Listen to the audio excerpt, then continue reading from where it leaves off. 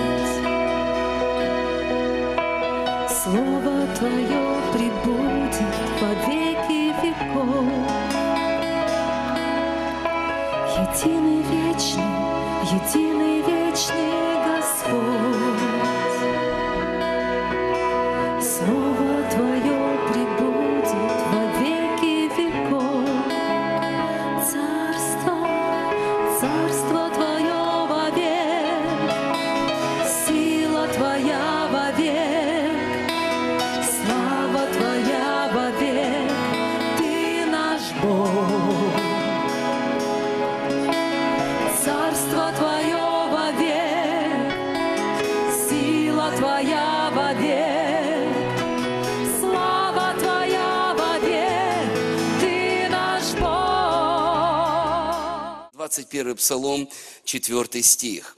«Но ты, святой, живешь среди славословий Израиля». Но ты, святой, речь идет о Боге, живешь среди славословий Израиля. Интересно, что эти слова написал много лет тому назад человек по имени Давид. Давид, тот, о котором сказано, что Господь избрал его себе как мужа по сердцу своему, который исполнит все хотения и все желания его. Друзья мои, Хочу сказать, что изучая жизнь Давида, я увидел интересную вещь. Я увидел два момента в жизни Давида, как и в нашей жизни, в, каждого, в жизни каждого из нас. Есть, наверное, самые счастливые дни. Я пытался вспомнить мои самые счастливые дни. Наверное, один из самых счастливых дней, когда я вдруг увидел, это самый счастливый день был в моей жизни, я вдруг увидел, что вот эта девушка, которой имя Надюшка, Надежда, она станет моей женой, что это правда, что это правда, что Господь нас благословит. И я вдруг осознал, я помню, я не шел, я летел, я бегал, у меня столько энергии, столько радости, столько счастья, столько всего. Самый счастливый день моей жизни. Второй счастливый день моей жизни, когда, когда все-таки взяли, э, взяли на руки медсестры маленького ребеночка и сказали, это девочка. А я в халате вот, одетый, там и вот черта дальше переступать нельзя, и вот здесь Надюшка, и, и, и здесь все. И, и, и я не мог стоять, я туда, они меня оттуда, я туда. Потом я выбежал и просто бежал по коридорам вот того госпиталя. Мне было все равно, что это еврейский госпиталь, что в субботу там бегать нельзя. И меня останавливали, говорят, шаббат, шаббат, шаббат. Какой шаббат? У меня самый счастливый день. У меня такая энергия, такая радость вообще. И я бегал и говорю, спасибо, отец, спасибо. Самый счастливый день. Знаете, в жизни Давида был самый счастливый день. Это был день, когда он возвращал ковчег Божий. И Писание говорит, что он не, он не мог идти, он царь. Цари, знаете, как ходят цари? Цари, ну, я не царь, я, но я только так думаю, что цари ходят, наверное, очень спокойно. Они, наверное, не прыгают, не бегают, наверное, тут охрана есть какая-то возле них. И им, им по протоколу положено быть всегда правильными, всегда, всегда, то есть, хотя, ну, они тоже люди.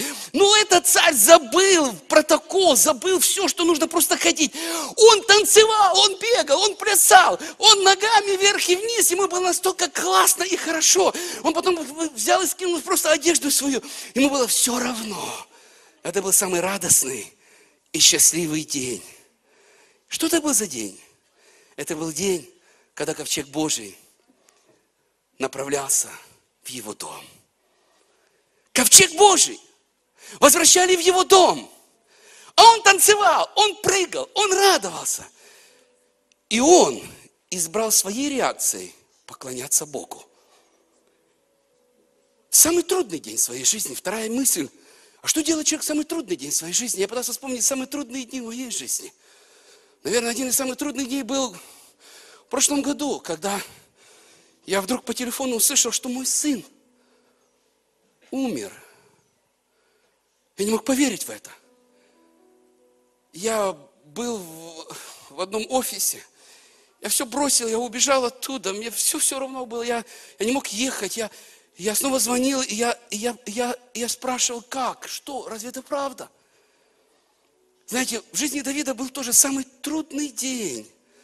И в первой книге Царств, 30 главе написана его реакция, что он сделал. Он возвращается в свой город. Он несколько дней отсутствовал в своем городе. Он возвращается в свой город с армией, с людьми. Он, он, он, он пошел воевать. Потом его отстранили, сказали, да мы же будем воевать с Израилем. Ну, ну ты что, ты перекинешься на их сторону. И вернули назад. Он идет домой, идет домой. Несколько дней его не было дома. Он приходит, подходит к городу, где его семья, где дом, где, где дети, где жены, где вообще все имущество количество, и смотрит, пламя огня, просто черный столб дыма. Люди выходят на встречу и говорят, слушай, никого нет. Город сожжен огнем. Твои жены и дети, сыновья и дочери твои, их просто взяли и увели в плен. Никого нет. Выглядело так. Я представляю себе, что в сердце у Давида было. Выглядело так, как конец жизни. Все. Никого нет. Все разбито. Все разбомблено, что делать? Знаете, что сделал он? Он стал молиться и поклоняться Господу. В самый трудный день своей жизни, своей реакцией он избрал прославлять Бога, поклоняться Ему и молиться Ему. В самый лучший и в самый трудный день своей жизни он поклонялся Господу. Друзья мои, я хочу, чтобы в жизни нашей, когда мы проходим через испытания, мы могли, подобно Давиду, поклоняться Ему и в лучшие, и в худшие дни или моменты нашей жизни. Друзья мои, хочу сказать о том, что когда мы поклоняемся Господу, отсюда вытекает абсолютно все. Не только благословение материальное, не только в личной жизни счастье, мир и радость, не только гармония внутри тебя, когда ты в действительности знаешь, что делать, слышишь голос Божий и не принимаешь глупых решений, последствия которых могут идти очень далеко и иметь разрушительную силу. Но когда ты поклоняешься Господу, опускается Дух Божий, и люди, которые рядом возле тебя, не, даже не понимая до конца, что с ними происходит, они становятся открытыми к тому, чтобы принимать Иисуса Христа. Я хочу сказать, что именно из поклонения вытекает проповедь, вытекает евангелизация. Знаете, когда мы придем на небо, то в Писании не сказано, что там пастор один, потом другой, потом третий, потом десятый, двадцатый встают и проповедуют. Об, этом вообще ничего не сказано в Писании. Но в Писании сказано, что там поклоняются. 24 часа в сутки, 7 дней в неделю, каждый год безостановочно, 24 старца, 4 животных, они поклоняются. И многие-многие святые поют новую песню на, на этом стеклянном море. Там есть какое-то некое стеклянное море, там поют новую песню, песни Агнца. И поклоняются. Поклонением заполнены небеса. И из поклонения вытекает евангелизация – вы помните, когда Иисус пришел однажды с учениками своими в город Самарийский. И написано, что он устал от пути, учеников отпустил, чтобы они пошли и взяли какую-то пищу, купили. А сам утрудившись, присел у колодца – и вот женщина с водоносами пришла, чтобы почерпнуть воды. И он начинает говорить с этой женщиной. Писание говорит о том, что у нее было пять мужчин. Она жила с шестым. Мы не знаем, была ли она женщина легкого поведения, или просто так жизнь сложилась. Но мы знаем, что он начинает общаться с ней. Вообще это было очень необычно. Потому что иудеи с самарянами не сообщались. Более того, мужчина с женщиной, которая с водоносами, женщина с водоносами достаточно унизительно, как бы на нее мужчины смотрели. Но этот мужчина, Иисус Христос, не смотрел на нее сверху вниз. Он напротив, он говорил к ее сердцу. И когда он начал общаться с ней, в какой-то момент он вдруг начинает говорить ей о поклонении. Он говорит, смотри, отцы ваши кланялись там. Смотри, вот так, вот так, вот так. Но приходит время, или настает время, и настало уже, когда истинные поклонники будут поклоняться Отцу в духе и истине. И потом произносит ключевую фразу, ибо таких поклонников Отец ищет себе. Слышите? Он ищет себе. Чем занят Бог сегодня? Он ищет себе неталантливых, неспособных и не просто людей, которые что-то могут сделать и блеснуть. Он ищет себе поклонников. Он даст им способность, он научит их, он поведет их, он будет с ними, он ищет поклонников – мне так и хочется сказать, Отец Небесный, когда ты смотришь на Новосибирск, на нас, когда ты ищешь поклонников, которые бы поклонялись тебе, останови свой взгляд на мне, останови свой взгляд на моих братьях и сестрах. Мы церковь, которая поклоняющаяся церковь. И так хочется, чтобы так было. Можешь ли ты сказать, да, пастырь, я поклонник, я поклонник Богу. Я поклоняюсь в самый трудный день, в самый радостный день, я поклоняюсь Ему. Отец ищет. Знаете, дух поклонения создает атмосферу, где действует Дух Святой. Почему мы в церкви начинаем каждое служение с прославления и поклонения? Замечали, когда мы только начинаем, такое чувство, что где-то вот э, ты приходишь, думаешь еще о том, что холодно, но ты добрался, какой ты умничка, что встал. Думаешь, вот, да, вот другие знают там того или ту, а она наверняка проспала, и не пошла сегодня. А я здесь, я в церкви, я в Доме Божьем. И ты слышишь, а уже хор начинает петь, уже мы славим Господа здесь. А ты стоишь здесь пока. Ну подожди, пять минут, может больше, может меньше.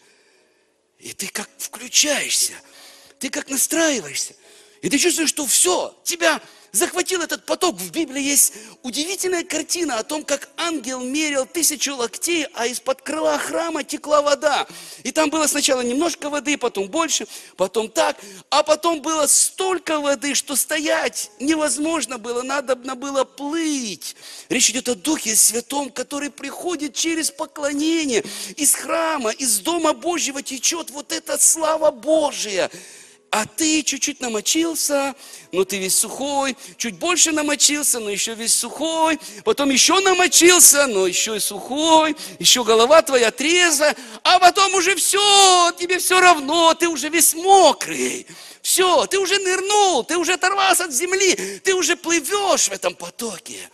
Поклонение создает поток Божьего Духа прямо к тебе и хочет унести тебя в этом потоке. Это удивительно, потому что именно в поклонении это происходит и прославление Господа. Я хочу еще раз вернуться к этому стиху, 21 стиху, или 4 э, стиху 21 главы, 4 стиху 21, 21 э, псалма. «Но ты святой, живешь среди славословий Израиля. Ты святой, живешь среди славословий Израиля». Я, готовясь к этой проповеди, нашел перевод японский. И мне очень понравилось. Я хочу процитировать его. Когда Израиль, его народ, славит его, он приносит стул и садится среди них. Японцы думают по-другому. Они вот так перевели этот текст. Оказывается, Бог берет свой большой стул. Я не знаю, как, какой он. Ну, думаю, хороший, наверное. Кожаный, наверное. Не знаю, стул ставит его здесь где-то, вот здесь ставит, или, или, или вот здесь вот ставит его стул это. Садится и наслаждается, когда мы славим Его. Слышите или нет, братья и сестры? Скажите, а вы вообще-то даете место для Господа, вы, вы верите, вы хотите, чтобы Он взял свой стул и пришел к тебе в твою комнату рано утром, или днем, или вечером, и сел и славил Господа. Ты хочешь вообще, чтобы Он был с тобой? Ты даешь Ему место или нет? Ты святой, Давид говорит, живешь среди славословий Израиля. Я хочу, чтобы мы открыли еще один текст, Деяния, 15 глава. Здесь пророческое слово есть. В Деянии 15 главе Бог говорит следующие слова в 16 стихе. «Потом обращусь и воссоздам скинию Давидову, падшую, и то, что в ней разрушено, воссоздам и исправлю ее, чтобы взыскали Господа прочие человеки все народы, между которыми возвестится имя Мое, говорит Господь, творящий все сие. Смотрите, это пророческое слово, оно относится к нашему времени, потому что это Новый Завет, и Бог говорит, я воссоздам скинию Давидову падшую, о чем идет речь? Первая книга Паралипоменон, 16 глава, 37 стих. Первая Паралипоменон, 16, 37. Давид оставил там, где? Перед ковчегом, да? Так и сказано, пред ковчегом завета Господня. Асафа и братьев его, чтобы они служили пред ковчегом постоянно каждый день, если вы так же, как и я, трудитесь в Библии и подчеркиваете, то подчеркните это слово постоянно каждый день. Это означает, что не тогда, когда хорошее настроение, ясная погода, теплое солнышко светит, но постоянно и в лучший день своей жизни, и в худший день своей жизни он э, поставил там Асафа и братьев его, чтобы они служили перед ковчегом постоянно, каждый день. Посмотрите еще один текст, 1 Паралипоменон 20, третья глава, пятый стих. И четыре тысячи привратников, и четыре тысячи прославляющих на музыкальных орудиях, которые он сделал для прославления – я читал мою Библию, но никогда не видел, о чем здесь идет речь. Оказывается, у них было четыре череды по тысяче человек. И тысячи человек в доме, где жил царь, окружали ковчег. Ковчег это был некий ящик. Э, над ним было два херувима с такими крыльями расправленными. И называлась эта крышка, крышка милости Господней, престол милости.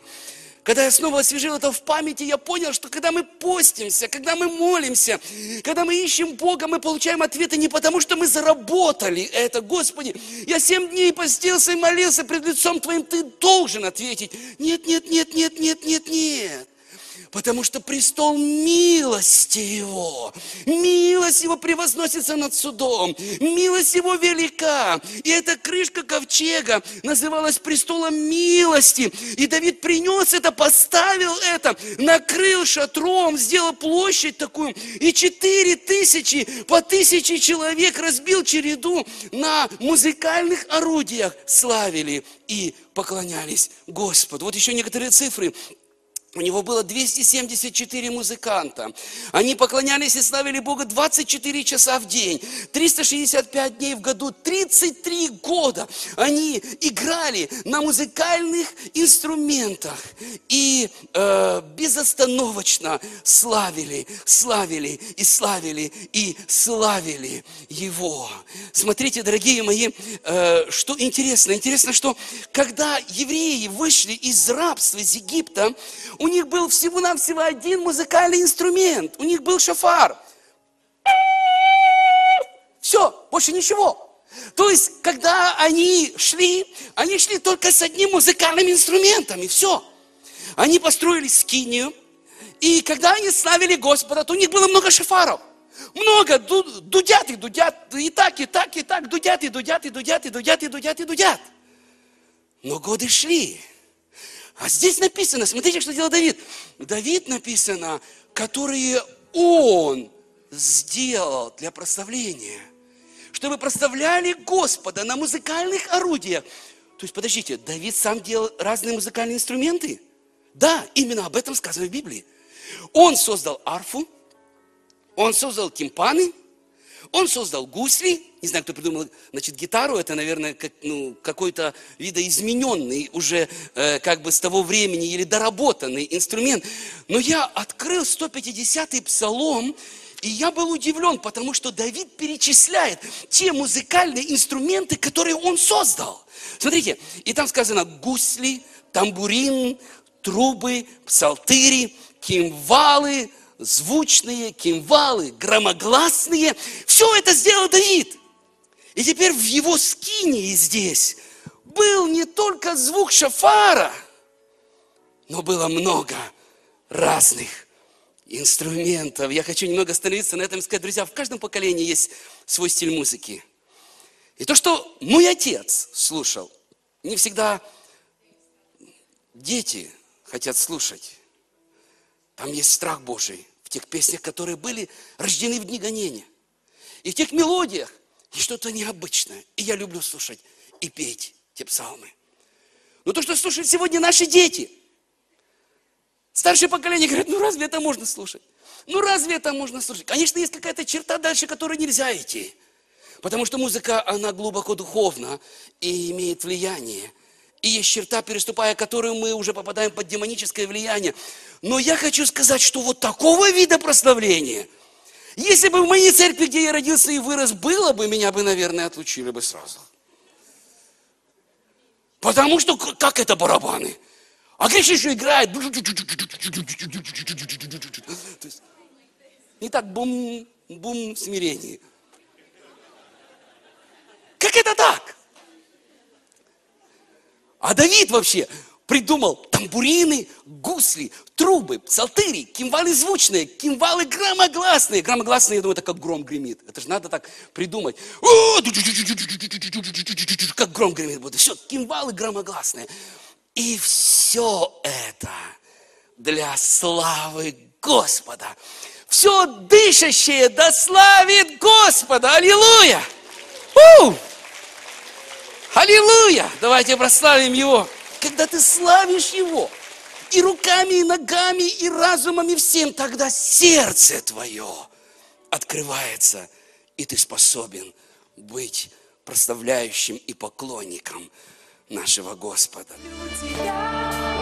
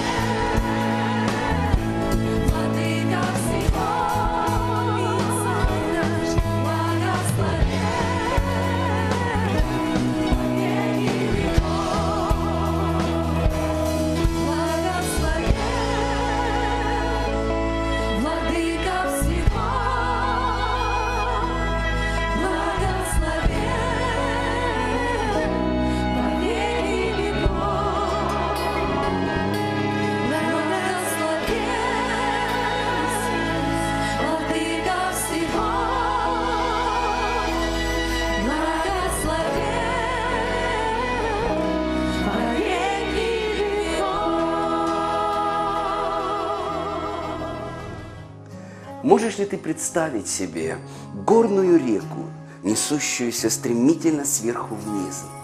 Писание говорит о том, что поток Божий полон воды.